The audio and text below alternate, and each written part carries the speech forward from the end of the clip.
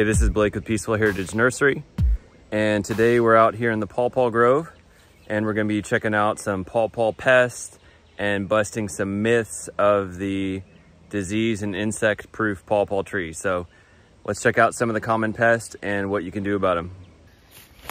If you're out in your pawpaw grove and you notice this, you see this browning of the leaves Oftentimes it's at the top, more like this.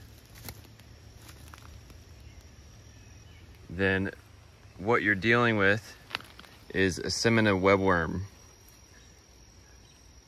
Okay, so they damage the leaves like this, and they'll also eat the twigs. So they'll eat the twigs all the way down and uh, can cause a lot of damage. They can even kill a, a young tree that's only a few years old.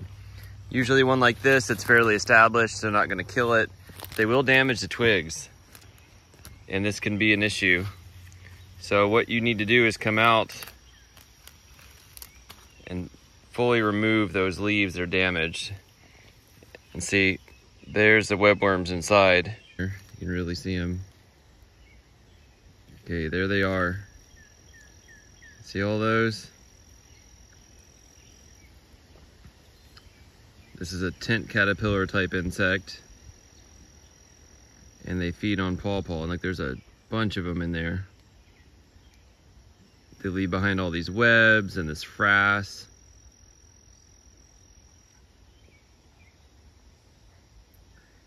They can do a lot of damage very fast. So we're pulling all these off, dropping them in a bucket here. And you can fill that bucket with water to destroy them that way. You can also crush them. See, as I pull this leaf apart, you see they're all in there too. So this is an endemic native insect to the region. So if you don't live in the eastern US, you probably won't have these. But if you live out here in pawpaw's native range, it's likely they could show up.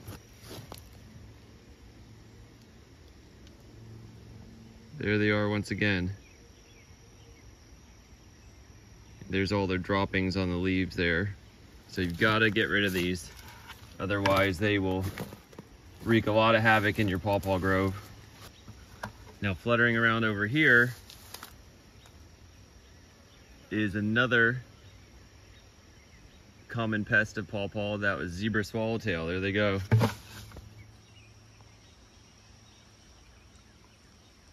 These are zebra swallowtail butterflies. And they're beautiful butterfly, so I don't advocate destroying them. However, when you do have young trees, the larvae can cause quite a bit of damage. So I will often pick those off and put them on a larger pawpaw tree such as this one or one even bigger that's going to be able to take that feeding and it not be a big deal. But if they feed on little trees or seedlings, they can completely destroy them. Another insect that feeds on pawpaws is Japanese beetle. Like this one right here that appears to be taking a nap. This is the damage done. So they they eat the tissue of the leaves and cause this netting. They tend to do minor damage but they do damage the trees. Typically when you see odd shaped holes like this randomly in the middle of the leaf, that is mollusk damage. So that would be slugs or snails, which really enjoy feeding on pawpaws also. That's a telltale sign of a mollusk is that circular hole. This is Japanese beetle damage. Zebra swallowtail butterflies tend to, they tend to do this sort of a thing where they just eat an entire leaf or half of a leaf like that along the edges and margins of the leaf. This is more Japanese beetle damage. You can see the lacing of the leaves they're doing here. That is Japanese beetles. This is more Japanese beetle damage. So we're out here in the Pawpaw Grove, one of them anyway, and we're scouting for Asimina webworms and other insects.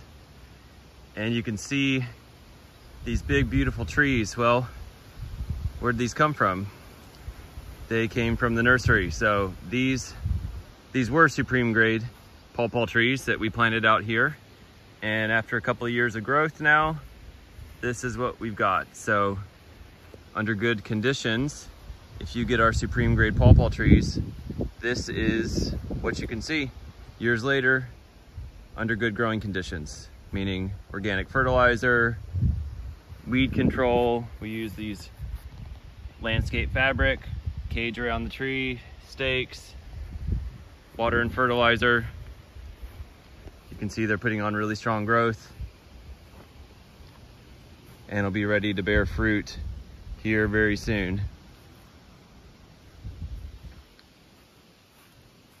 So this is one of the supreme grade trees that I grafted personally and planted this year. It's a Mammoth X and I see it has Asimina webworms right here. So I'm just gonna carefully pinch this off without damaging the twigs. I'm gonna go ahead and take this leaf off too. It might have some little caterpillars in there we can't see and it's going in the bucket with the rest. So an important aspect of pest control, especially under organic conditions like we do here, is just taking the time to go out and scout your trees and see what is going on with them. Japanese beetle right there. This is a twig that just got snapped off in a storm or something. This is Rappahannock. It has a really upright, much different growing pattern than the rest of them, as you can see. It's unusual. So I just happened to catch a zebra swallowtail butterfly here. They're really beautiful butterflies and they are threatened.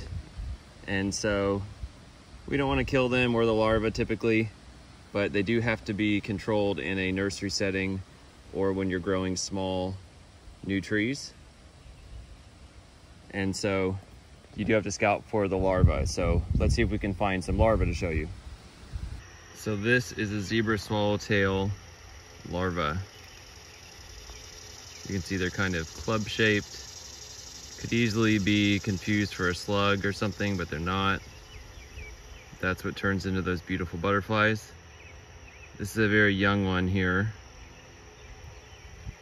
and you can see its defense mechanism is to push those little antlers out of its head when it's threatened. See those little yellow protrusions there. So we're gonna leave it alone and let it do its thing. It's not gonna harm a tree that's this size. Now if that was on a very small, freshly planted pawpaw tree, I would remove it and put it on an older tree such as this, where it's not gonna do much damage. Okay, we have another insect pest, a pawpaw. This little greenish, grayish caterpillar here, this is a pawpaw leaf roller. Okay, so that's what the insect looks like. It gives you an idea of its size. It's maybe three quarters of an inch or so. It's got that brownish, reddish head, those little dots. And this is what it does to the leaf. So it makes this web and it rolls that up. See how that leaf has been rolled up like a little burrito? And it just does its thing in there. Makes a cocoon or whatever after feeding. So this is what pawpaw leaf roller damage looks like. It's similar to the Asimina webworm. It does make webbing and everything, but it's not a tent caterpillar per se, like the Asimina webworms are. This one rolls up the leaf like that. So pretty minor damage, but something you might encounter also. This leaf spotting here, this is called Phyllosticta. And so this is a common foliar fungus of pawpaw. You'll notice the black spots with the yellow halos around them.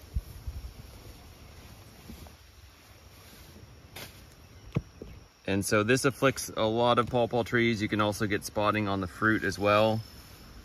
In severe situations, it can cause cracking of the fruit. And it's something that gets infested on the foliage annually. So it's not systemic. And sometimes we even see this in the nursery on grafted trees and seedlings. Typically when I see it on seedlings, I will destroy those seedlings because that's a sign that they are prone to Phyllosticta. However, some grafted varieties that are out there are popular grafted varieties people want, and they might be prone to Phyllosticta too. So sometimes there'll be Phyllosticta pr uh, present on those as well. On trees that are resistant, you might just see a little bit of spotting on the leaves like this and not much else. On severely uh, susceptible varieties, you might see bigger, more intense blotching on the leaves and on the fruit as well that leads to cracking, which ruins the fruit.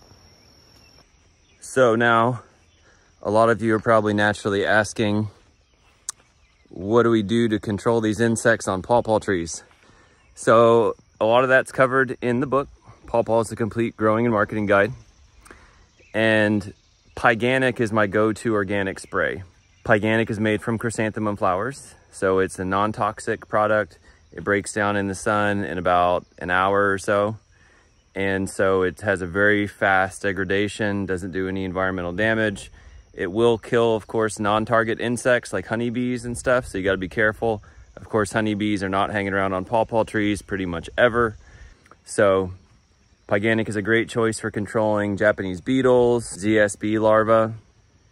Not sure about its effect on tent caterpillars or leaf rollers, but it would be worth trying. Also, uh, spinosad might work well for them, being that they're caterpillars. So those are all some good organic options, as well as just walking around your orchard scouting and pulling off the tent caterpillars and just seeing what's going on out there. So that's always highly recommended too. Just checking on your trees and being aware of your local pest and disease pressure and what's going on in the orchard. So thanks for watching. If you enjoyed this video, please subscribe and hit the like and notification bell and you'll be notified when I put out more videos on growing fruits, pawpaws, and all that good stuff. Thanks for watching.